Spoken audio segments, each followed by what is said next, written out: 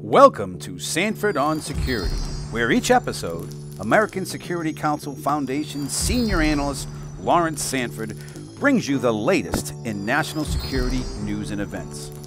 Mr. Sanford served as a communications officer aboard a destroyer in the U.S. Pacific Fleet, followed by four years as an officer in the clandestine services of the CIA.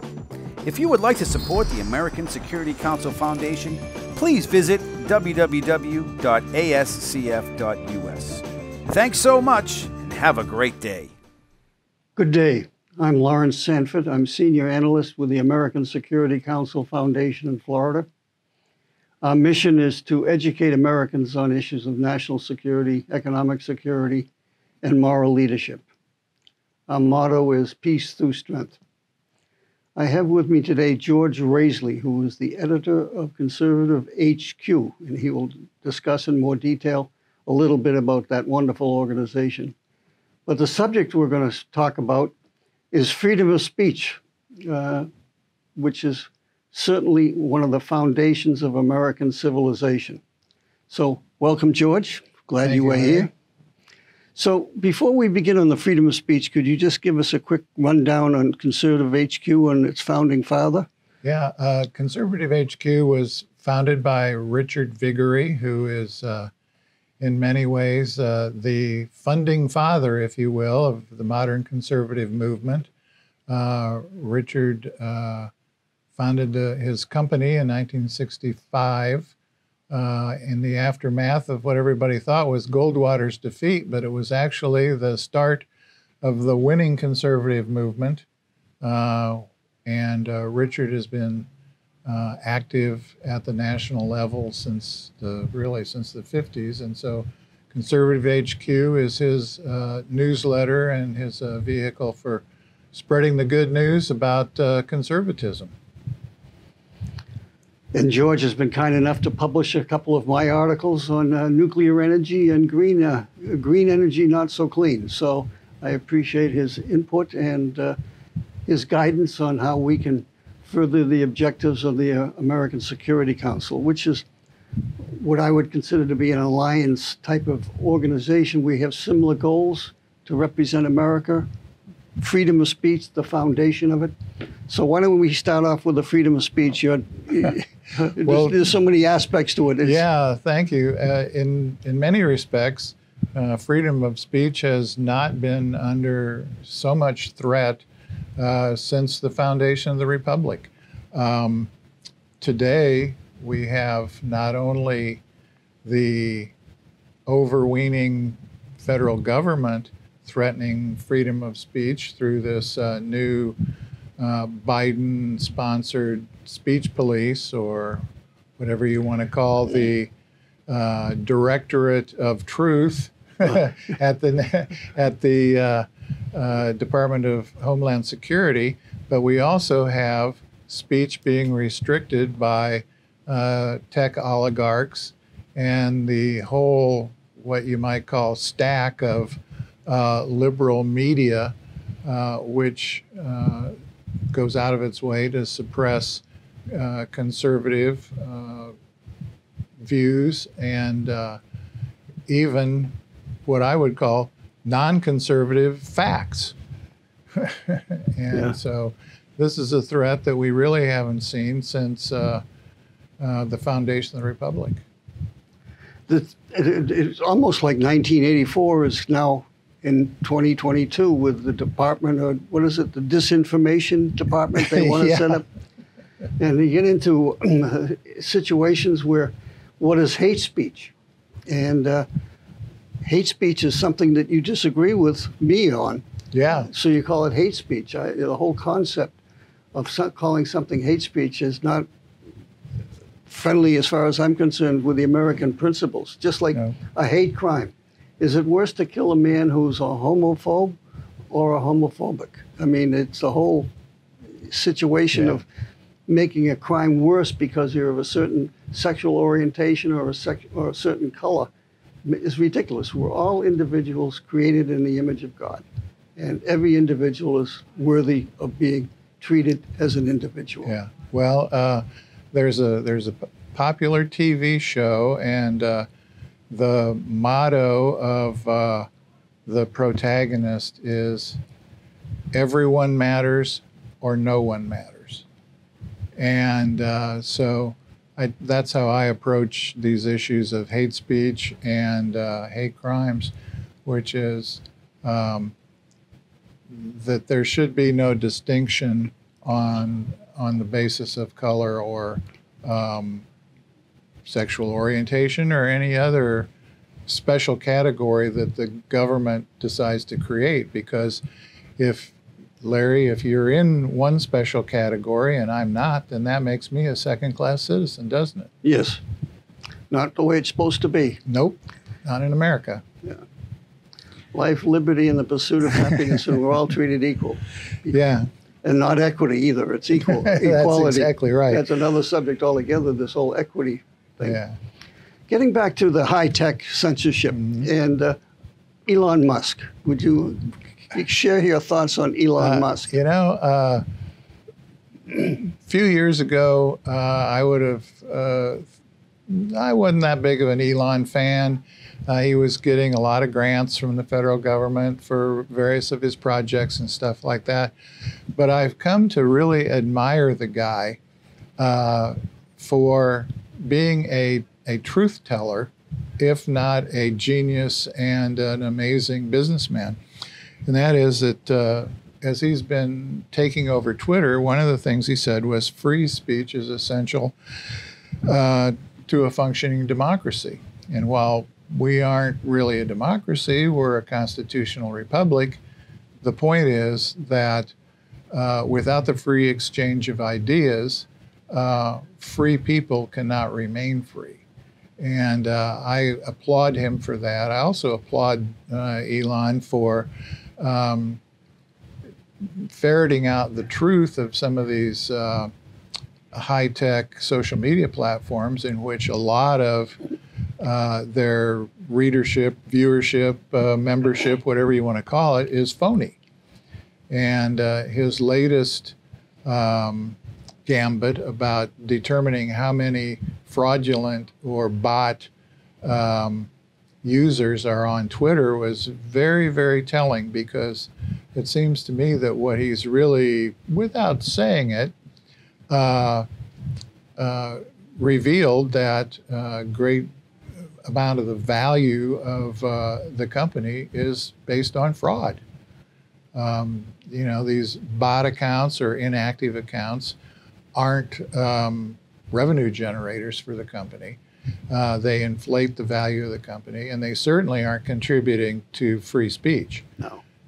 That, that came out with James O'Keefe in Project Veritas when uh, Absolutely. they uh, spoke to one of the senior engineers at Twitter who admitted he was a communist and didn't believe in free speech. hmm So Yeah.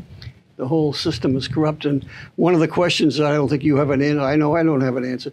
How did people like that get to be in those positions of power? So it's got to be the culture within the company. Well, it, well, it is, and and actually, again, this is something that Elon Musk has sort of revealed to all of us, perhaps inadvertently, but these guys aren't technical geniuses or um, computer wizards. They're political operatives, and they're hired on that basis. And uh, one could make the argument that Twitter and Facebook are not social media platforms where uh, you know you can exchange pictures of your grandchildren or funny cat videos or whatever. They're actually for-profit political operations uh, with a strong leftist bent, and um, particularly with Twitter and its uh, you know since 2016 campaign to uh, eliminate uh, conservative viewpoints from the platform, uh, you know, they haven't made any money. They've lost billions. The only two profit profitable years they have, or years that they made a profit on operations, were uh, 2016 and 2017, I believe, uh, which oddly enough were the two years that Trump was most active on the site. you know, so they boot Trump and promptly lose a billion dollars. Uh, But uh, you know, again, it's not about free speech for them. It's about pushing a political agenda. Yeah, Dorsey seems to be Jack Dorsey, the founder of Twitter, seems to be coming around to support Elon Musk, but he was there during all the censorship. So, can you explain how Dorsey has come around, or is it he was misrepresented? Or I I can't really explain it, Larry. Uh, other than uh, I suspect that, uh, like a lot of people in uh, California in the tech world, they're subject to peer pressure. Um, you know, if if you're in that world, uh, in Hollywood or Silicon Valley, and you inadvertently let it be known that you're a conservative, uh, you're not going to get invited to the parties. Uh, it's going to be hard on your kids. Uh, your wife isn't going to get invited to lunch at the you know Hollywood hotel or whatever, and suddenly it's a lot better to just be quiet or to amen uh, the left. And I, I believe that's how it works. It's human nature. Yeah. One of the things that concerns me about Elon Musk, and I agree with everything you said about him, is the fact that he has a huge te- Tesla factory in Shanghai. Mm-hmm. And for, in order to do business in China, and they gave him all sorts of hundreds of millions of dollars worth of property and factory and loans and so forth. Is you've got to basically sell your technology to the Chinese. So give it to them. Give it to them. And so uh, the technology of Tesla is now in Chinese hands. In the overlap of Tesla into his SpaceX programs and some of the other stuff is of concern to me. I just don't know how much of a hold the Chinese have on him. Yeah, I, I don't know either, Larry. I, that's a very legitimate concern, uh, something that I think a lot of people in, in uh, our shared background of uh, national security uh, would do find concerning. And uh, it also, speaking of free speech, uh, you'll notice that Elon is not one to criticize the red Chinese. he would never say, about Xi Jinping, what he said about Biden, for example. Yeah. Uh, uh, so that uh, you know, any American business, be it Apple or Tesla or uh, Uh, any of our computer uh, companies who have major manufacturing facilities in China, they're not going to criticize uh, the Red Chinese government uh, or any of its uh, senior leadership. Which, which gets us into the permutation of free speech in China affecting. America. Namely, they, they have such a lock on Congress, for example, major leaders in Congress never speak up about China because there's mm-hmm. such an overlap of financial interests and so forth. I mean, the, the majority leader of the House, uh, the Senate, Republican, is Mitch McConnell. He's tied in with his wife big time yeah. with the Chinese shipping industry and. Uh, yeah. Well, look at all the money that uh, the Pelosi's have made uh, off of their relationship with China. And uh, again, th- this was a, one of the greatest follies of our leaders of the 70s and 80s was to assume that if we engaged with the Red Chinese, that we could make them more like us. And what's happened is that the balance of the economics have t- tilted so far in their favor that they are making us more like them. Yes. And uh, that was a, a, a great um, uh, misconception on the part of our leaders, including, you know, some, some good ones who were patriots. Uh, um, but that was a major error in understanding how the Chinese operate. So, what is the solution then? reinstitute well, American values and take. You know, the solution is uh, for us to uh, reestablish our manufacturing base, to stop exporting jobs, uh, to stop exporting technology. And uh, much as I am a free market, free enterprise, keep the government out of business guy, uh, you know, we have to look at ways of leveling the playing field uh, and again, when I was at the at the White House back in the early '90s, uh, we had tech people come in and tell us, you know, our, we're getting our lunch eaten by the Japanese and the Chinese because they get all of these advantages.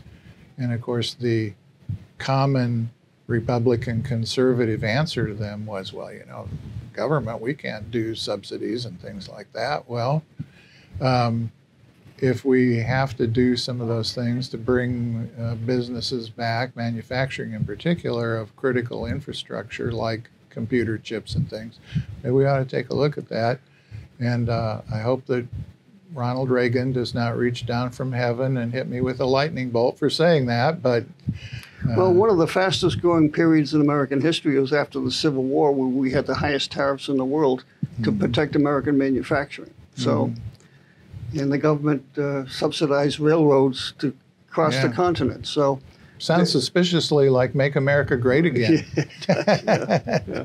Getting back to freedom of speech, so we touched briefly on the Silicon Valley with Twitter, but we have the issues of Google, we have the issues of Facebook, where they basically censor conservative thought and expression. And again, I, I don't see how you can control that other than making them, what is it, 230, Section 230, make it so that they can be sued by lawyers. And I must say, I'm not a big fan of the legal yeah. profession, but maybe that's the answer. Well, you know, that's interesting that you should bring that up, Larry, because – uh, I have advocated for a good long while that uh, that section of the U.S. Code uh, requires them to con- conduct themselves in a certain way, and if they take themselves out of the strictures of Section 230, then they lose the benefits.